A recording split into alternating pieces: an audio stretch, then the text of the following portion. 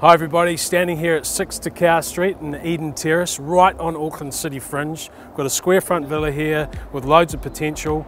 Ryan and I are listing this with our colleague Paul Trimmer, who's not here yet, but he's only a couple of blocks up the road, so he must be here soon. In fact,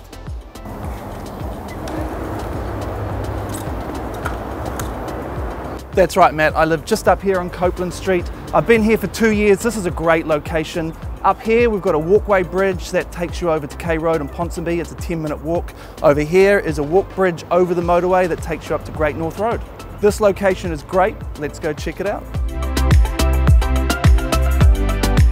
This is a traditional villa. What I love about this is you've got the hallway down the centre with the two bedrooms off the side. Then we come into a spacious lounge with a third bedroom and a study. And then we have a modernised kitchen that leads out into a patio and backyard with a bit of greenery and grass. That's right, Paul. That back porch is especially handy because it is covered, so you can use it all year round. Not only that, if you move in before Christmas, you can enjoy your Christmas turkey out there. We are advertising this as three bedrooms plus a study. However, the current owners have used the study as a fourth bedroom and had it as a rental property, and it's had very good occupancy. So if you're an investor and you want four bedrooms this close to the CBD, it's a great opportunity. And for you first home buyers, this is also an awesome opportunity. You may have been looking at apartments on the city fringe for similar money. Why not come here, buy your own piece of terra firma, and you're right on the city fringe. You can't go wrong.